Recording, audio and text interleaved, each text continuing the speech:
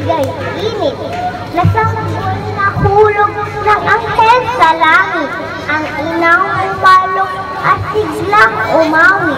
Uwi kang Pilipino ang siyang ginamit. Ang wika ay tubig na nagpapaputi sa may pusong may sala at pahid ang dumi. Manalangin lamang at saka magsisi at patawarin ang poong mabuti. Wika ay hangin siyang bumubuhay sa patig ng hinga sa kulturang patay.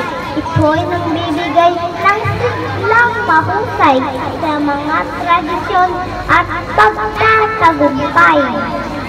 Ang wika ay bato siyang tungtungan itong mga paa mahal na bayan. Wika ay sandigan itong kasarinlan sa bundok ukurol maging kapatagan. May alam na apoy at lakas na bato at kinang ng tubig ay wari ay ginto. Wikang Pilipino'y matatag na hukbo na lakas na iyong pagka-Pilipino.